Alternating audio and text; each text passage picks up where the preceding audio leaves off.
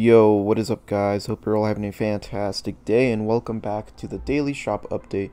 And so this time around we got another uh, recycled daily. It seems like there's a cycle going on here. It seems to be switching out throughout like all these three bundles, which is the Mr. Butler bundle, the uh, the Fret bundle, and then last but not least this one, which is the whoops, my controller died. Hold up.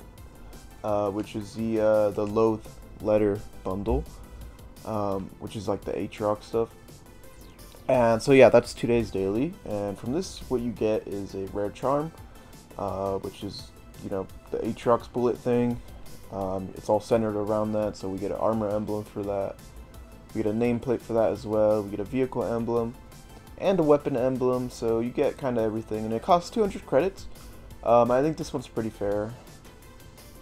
I think that one's actually pretty fair. Um, you get like a cool little weapon charm, which is probably the only thing I'd like about this. Um, not really a fan of this emblem stuff here, but yeah, it's pretty fair. 200 credits, not too bad. But uh, yeah, so that's today's daily shop. Um, it is kind of weird. Um, I'm curious, like, as to whether I'm assuming next week we're gonna get three new dailies that cycle out, or I think the way it works is that when we go to the next week, uh, like three new dailies get added on to the cycle to the daily cycle and so then it's going to start from those new ones and then it's going to go back to these old ones and then it's just going to keep you know rotating. I'm very curious to see if it works that way. Um, but yeah we'll find out tomorrow anyways. Hopefully we get some hopefully we get like some cool armor effects or like some entirely new armor set. Hopefully we get the uh, firefall set because i really want the firefall set.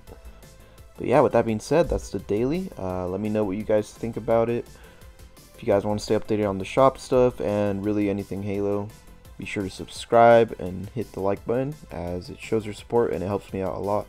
And I'll see you guys on the next one. Peace.